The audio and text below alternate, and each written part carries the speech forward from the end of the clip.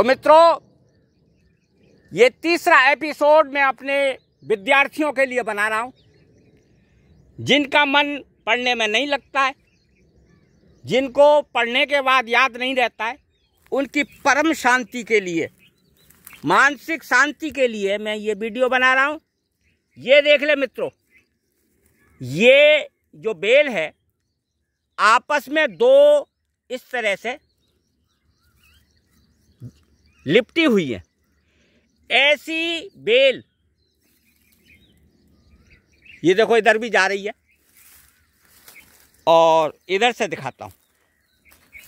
इधर से भी देखिए मित्रों, ये जो जा रही है आपको ये है, ये वाली है। और एक ये है बड़ी वाली, मोटी वाली। इस तरह की या इस तरह की मोटी? अरे, कांटे लग गए। पकड़ लिया हाथ। हाँ तो इस तरह की। लगभग एक फीट की मोटी, जिसमें दो आपस में लिपटी हुई हो, अगर ऐसा उपाय कोई भी माता पिता बच्चे के रूम में कम से कम एक फीट ऊँची लंबाई की, ये जड़ रखनी है। जड़ नहीं है, ये जो है, एक बेल है ये विशेष प्रकार की बेल होती है, जो शीत प्रकृति की होती है। नाम मैं बता नहीं रहा हूँ, नहीं तो लोग पूरा निकाल निकाल के ले जाएँगे, वैसे मिलती भी बहुत कम है।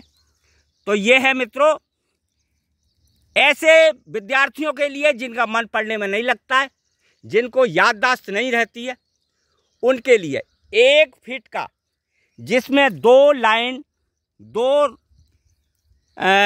बेल आपस में और ये एक विशेष प्रकार की ही बेल होती है। तो मित्रों, जिनको चाहिए कमेंट्स में लिखें। अगर मुंबई के होंगे तो आके ले जाएँ। बाहर भेजने में मुझे तकलीफ़ होती है। तो मित्रों, इसी के साथ नमस्कार, नेत्रपाल दुर्गादास कुशवाहा, कल्याण।